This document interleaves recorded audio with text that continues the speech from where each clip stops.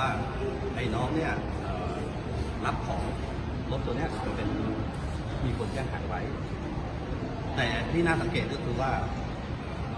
เอ่อตำรวจชุดนี้ไม่จับคนที่เอารถมาส่งถ้ามีการแจ้งหายจริงๆเนี่ยยังไงก็ต้องมีการจับอะคนเอารถมาครับผมตัวนี้และอีกอย่างไปถึงโรงพักเนี่ยไม่มีการเขียนเป็นจับ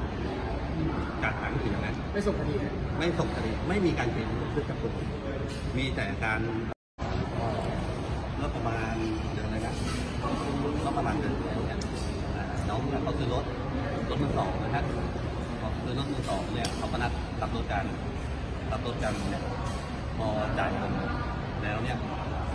น้องนี่ก็ขึ้นจะขับรถตำรวจชุดจับของเอ่อสพนราธิเบศเนี่ยเขาก็จับน้องคนนี้เลยจับน้องไม่มีการแจ้งข้อกล่าวหาเขาก็บอกว่า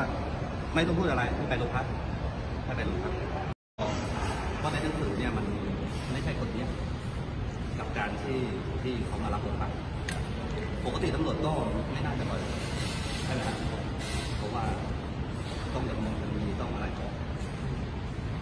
สถานที่ควบคุมที่ไหนอ่าสพนราธิเบศทำที่โรงพักเลยใช่พาไปโรงพักชั้นสอง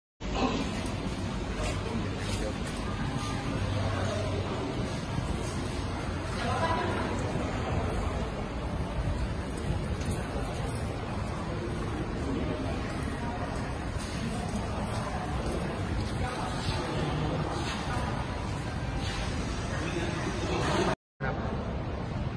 ตอนแล้วพอถึงเขาก็ขับรถไป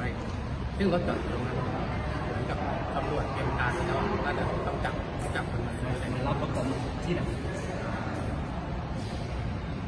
ถ้าที่เราประมาณทำเมื่อวานรถยี่ห้อเดียต้าโต้เท่าไหร่ตกลงครับสองแสนสองก็พอดูแล้วเสร็จแล้วก็จ่ายเงินก็ก็ต้องจับดีจากที่ลานจอดรถเลยใช่ครับอืมก็รถก็คื แต่คนที่คนที่ขับมาก็ไม่ได้มีครับ